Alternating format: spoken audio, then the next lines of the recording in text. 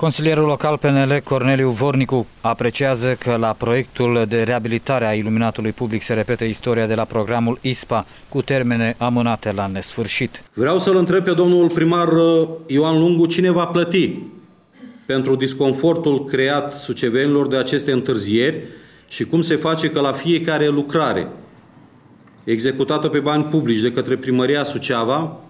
nu se respectă absolut niciun termen stabilit prin contract și mai mult, nu se ia nicio măsură în acest sens.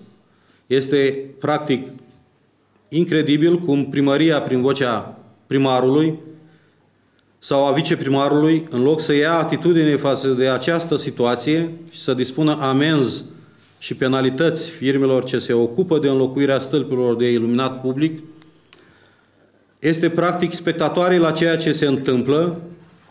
singurele lucruri la care asistăm fiind eternele scuze, motivele și promisiunile de rezolvare. Liberalul Sucevean se mai întreabă dacă este normal ca după câteva săptămâni de la plantarea florilor și vopsirea trotuarelor, acestea să fie sparte și lăsate în părăsire. Oare într-o gospodărie e normal să dai cu var un perete și la două zile după să-l dărâmi? Normal că nu, pentru că acolo este vorba de banii proprii, nu de banii din bugetul local, de banii contribuabililor, ai noștri, ai tuturor, bani din care cei de la PD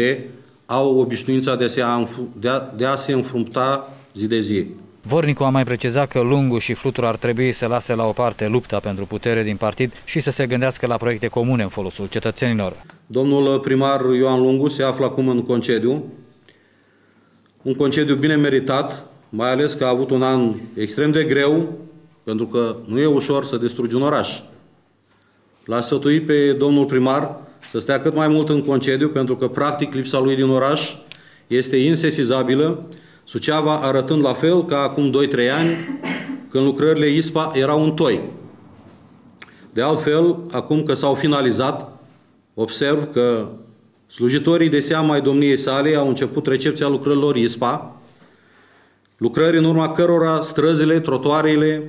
trotoarele, spațiile verzi la care s-au lucrat trebuiau să fie aduse la starea inițială. Îi uh, felicit pe aceștia care au constatat corect atunci când au recepționat majoritatea lucrărilor, străzile și trotoarele pe care s-au efectuat lucrări ISPA fiind aduse la starea inițială, dar din păcate nu din anul 2008, ci din 1908.